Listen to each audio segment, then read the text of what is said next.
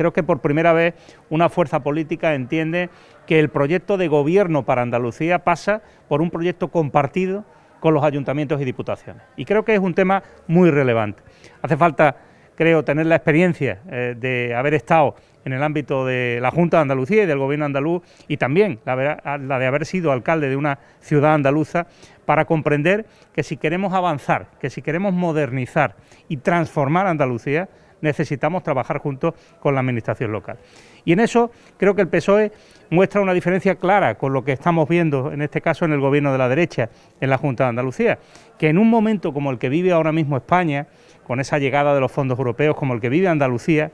en el que acaba de llegar la mayor inversión económica que se ha hecho en todos los años de democracia, con fondos de la Administración del Estado, del Gobierno de España, a Andalucía, no ha tenido todavía, parece, tiempo de sentarse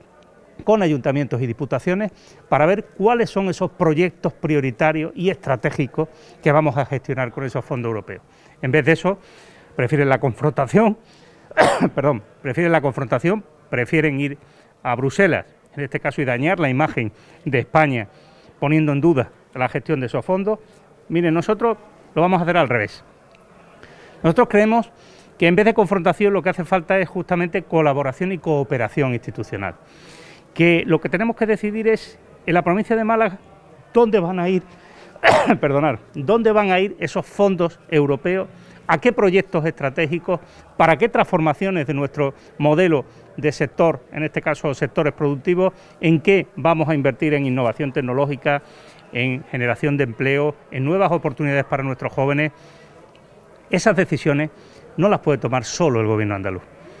Yo quiero y me presento como candidato a la Junta de Andalucía precisamente porque quiero hacer el gobierno más fuerte de la Junta de Andalucía de su historia. Y ese es un gobierno coordinado, compartido, en el que el presidente de la Junta de Andalucía se reúna con alcaldes y alcaldesas para diseñar esas políticas en común, en un momento en el que la modernización de Andalucía pasa justamente por esa cooperación y esa colaboración institucional.